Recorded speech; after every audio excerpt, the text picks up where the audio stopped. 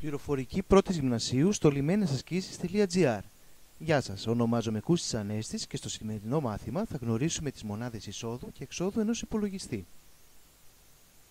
Σκεφτήκατε ποτέ πόσο χρήσιμος θα ήταν ένας υπολογιστής ο οποίος δεν θα μπορούσε να επικοινωνήσει με το περιβάλλον του; Ένας τέτοιος υπολογιστής δεν θα μπορούσε να δεχθεί με κανέναν τρόπο πληροφορίες από εμάς, αλλά δεν θα μπορούσε και να μας παρουσιάσει τα αποτελέσματα της δουλειάς του.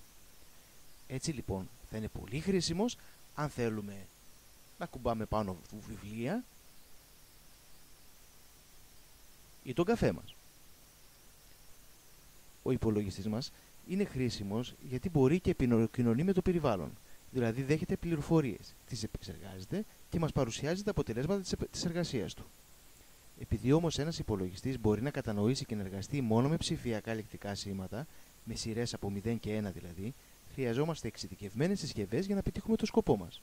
Τα δεδομένα που μπορούμε να εισάγουμε σε έναν υπολογιστή μπορούν να έχουν διάφορες μορφές, όπως κείμενο, εικόνα, ήχος, θερμοκρασία κτλ.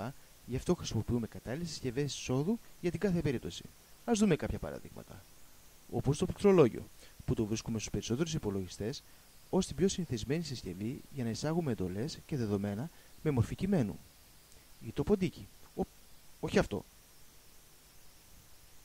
Αυτό. Το χρησιμοποιούμε για το χειρισμό του υπολογιστή μας μέσα από ένα γραφικό περιβάλλον, ελέγχοντας ένα δίκτυο που εμφανίζεται στην οθόνη μας. Ο σαρωτή. Με αυτόν μετατρέπονται φωτογραφίες, εικόνες και κείμενα σε ηλεκτρονική μορφή για να μπορεί να τα επεξεργαστεί ο υπολογιστής.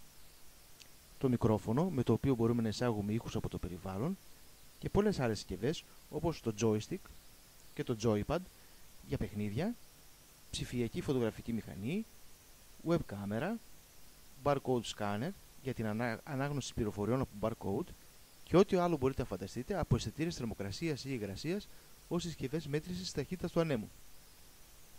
Οι σημαντικότερες συσκευές εξόδου είναι η οθόνη, στην οποία εμφανίζονται αποτελέσματα από τις διάφορες μορφές επεξεργασίας που εκτελεί ο υπολογιστής. Υπάρχουν οθόνες διαφόρων μεγεθών και κατηγοριών ανάλογα με την τεχνολογία που χρησιμοποιείται για την κατασκευή τους. Εκτός από τις κοινές οθόνες, υπάρχουν και οθόνες αφής, όπως αυτή της εικόνας, οι οποίες λειτουργούν ως συσκευές και εισόδου και έξοδου.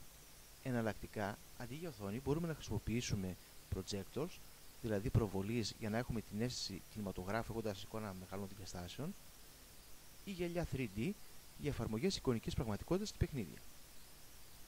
Ακόμα έχουμε τον εκτυπωτή, που μας βοηθάει να τυπώνουμε σε χαρτί πληροφορίες που επιλέγουμε. Υπάρχουν εκτυπωτές διαφόρων τύπων ανάλογα με την τεχνολογία που χρησιμοποιείται για την κατασκευή τους, όπως ο κρουστικό ή ακίδων, ο λέιζερ ή ο ψεκασμού μελάνης. Αν θέλουμε να τυπώσουμε μεγάλες εικόνες και σχέδια, χρησιμοποιούμε plotters. Επίσης έχουμε τα ηχεία για την εξαγωγή οίκων και μουσικής από τον υπολογιστή. Εάν όμως δεν θέλουμε να ενοχλούμε τους γύρω μας, τότε μπορούμε να χρησιμοποιήσουμε και ακουστικά. Άλλη μια συσκευή που ο υπολογιστής χρησιμοποιεί για να στέλνει και να λαμβάνει δεδομένα από άλλους υπολογιστές είναι το modem το οποίο είναι μονάδα και εισόδου και έξοδου. Εδώ τελείωσε και το σημερινό μας μάθημα. Ευχαριστώ για την προσοχή σας. Για περισσότερα βίντεο μαθήματα μπορείτε να επισκέπτεστε τη σελίδα μας λιμένεσασκήσεις.gr Γεια σας.